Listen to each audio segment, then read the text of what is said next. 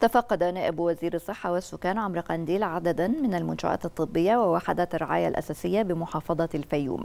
وذلك في إطار استكمال المرحلة الأولى من خطة الوزارة بالمرور الميداني على المنشآت الطبية في محافظات الصعيد. والتواصل المباشر مع المواطنين ورصد أي قصور في مستوى الخدمة الطبية. واستهل نائب وزير الصحة جولته التفقدية على المنشآت الصحية بالفيوم بزيارة مركز طب الأسرة بمنشأة طنطاوي التابعة لإدارة سنورس الصحية.